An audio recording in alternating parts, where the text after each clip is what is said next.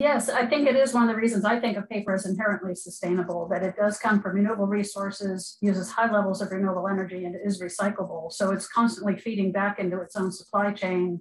Um, where some industries, I think we see this a lot in plastics, where plastic might be converted into another space, um, whether it goes from a package to a toy or to something like lumber.